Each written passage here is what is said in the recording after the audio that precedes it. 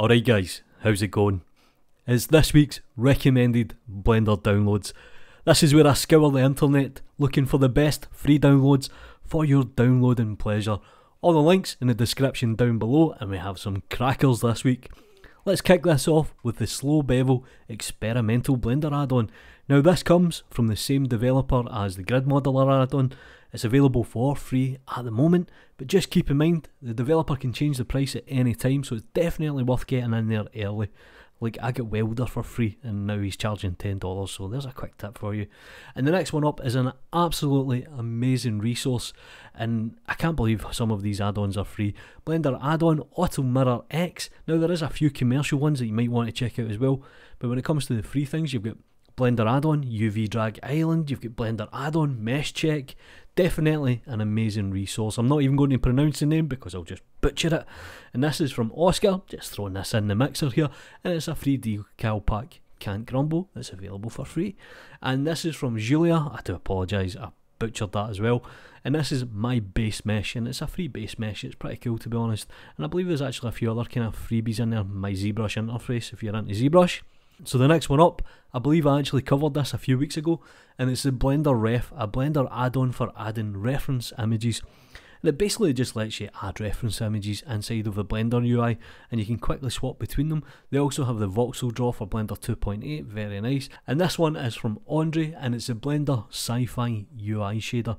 Nice one mate, thank you very much. I'll download that later on. And this is the panel cam adder. And I think it essentially what it does is it adds a panoramic camera to your scene and it just kind of sets everything up and away you go. Now, I've covered this guy before and they're absolutely phenomenal. I'm going to do it again. He's just released a new character, the Klaus character blockout. Absolutely amazing. I can't believe these are for free. You've got things like the horse character as well, the cartoon cap. You've got some very nice base models, all available for free. They all work inside the Blender. Check it out. Now moving over to Dr. Blender. Now this is a great resource and obviously he's a YouTuber as well, but you have things like procedural leather shader, metal shader, and they're also limited in terms of how many you can download. So there's only 64 left of this one for example, so maybe you want to get in there nice and early, definitely worth checking out. So let's move it over to Blender Artist for a quick second, and this is the CSV Model Importer add-on. Now, it's a very strange format to be honest, and it's not something you run into a lot of the time, but it's available for free if you need to import a CSV file.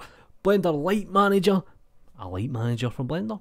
What could go wrong? It's available for this Blender add-on provides you with a light list with helpful controls to tweak your lighting. So the last one up, I'm a little bit of a fan of it to be honest, and it's the To Do Task Manager add-on, and it just basically lets you set up a bunch of tasks, and it kind of keeps you informed. It's kind of like keeping notes a little bit easier than that, but it's available for free. Do me a favour guys, please support third party developers and artists. Like video, subscribe to the channel if you haven't already, follow me on Twitter, support me in Gumroad, you know what to do. Take care. Do, do, do,